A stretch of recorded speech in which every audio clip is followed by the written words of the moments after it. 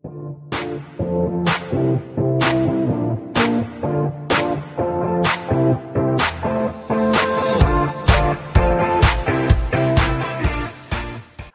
¿qué tal a todos? El día de hoy les traigo un video en el que se me ocurrió hacer debido a que la otra vez usé un perfume el cual no había usado y que este realmente luego no los compro y sí los vuelo y demás me los pongo tal vez una vez solo para ver qué tal funcionan pero ahí los dejo no al final siempre regreso eh, con los mismos que uso.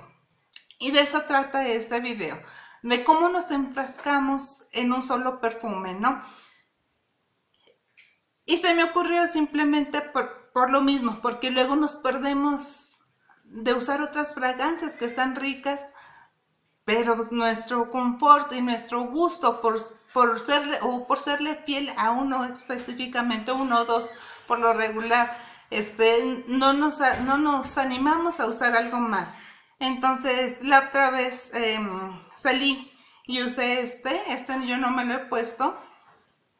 Es de Fuller, no, perdón, este es de Arabella y eh, no, no lo había usado, me lo puse eh, a veces me los pongo así conforme los veo y tengo prisa y me los pongo. Entonces me lo puse, pasó el tiempo, lo fui eh, analizando cómo iba eh, la evolución del aroma en mí y me gustó. Y dije, bueno, ¿por qué no lo he usado? Porque una vez lo me lo había puesto, ya no lo usé. Y llegué a la conclusión, bueno, yo estuve ahí, este, ¿cómo se le dice? Eh, filosofando ahí mientras manejaba. Y pensé, bueno, siempre tenemos un, gusto, ¿no? Específico. O usamos más bien un perfume que nos guste. Eh, vaya, que lo usamos porque nos gusta cierta, ciertas notas, pues, ¿no? Y que nos gusta cómo queda en nosotros. Más aparte también eh, sentimos que es lo que va con nuestra personalidad y lo que queremos este, mostrar, eh, vaya, de nosotros, ¿no? Junto con todo lo que es nuestra presentación. Pero llegué a, una conclusión, es que realmente estamos en una zona de confort en el que a veces no nos animamos a usar algo más, ¿no? Eh, y pensé, bueno, pero ¿por qué no nos animamos a usar algo más? tal vez sí, eh, no nos sentimos a gusto con otros aromas, aunque nos guste, pero digo, es que el chiste es hacerlo una vez y luego experimentar con otro y así, ¿no? El chiste es que hay que aventurarse, aventurarse a, a cambiar un poquito esa, esa proyección que tenemos, ¿no? Recordemos que el ser humano es eh, cambiante por naturaleza, ¿sí? Es decir, yo no soy la misma de hace 10 años, ¿no? Entonces, es decir, no soy igual, pero soy la misma, soy la misma, sigue siendo mi esencia, sigo siendo yo.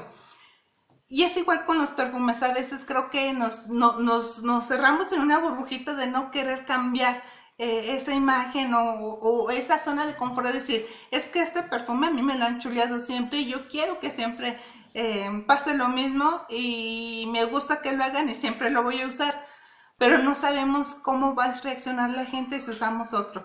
Puede ser malo, puede ser bueno, pero en sí es la manera en que eh, podemos darnos cuenta qué más se nos da a beneficio de nuestra imagen y de lo que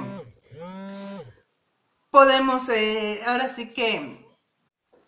Bueno, el objetivo de este video, más que nada, o en resumen de lo que quiero decir, fue una filosofada y que me, que hice mientras iba conduciendo es de que podemos experimentar, tenemos que abrirnos a más, a, más gustos, ¿no?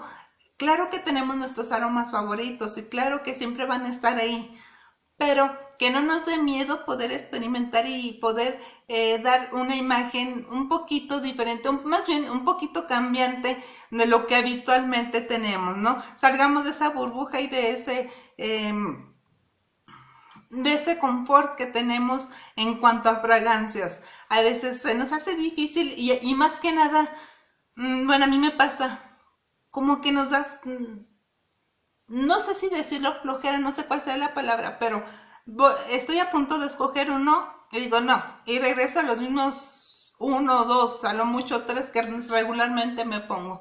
Entonces, eh, pues esa es la cuestión. La cuestión es de seguir experimentando, seguir usando más y eh, chance y en vez de tener dos favoritos podamos tener cinco.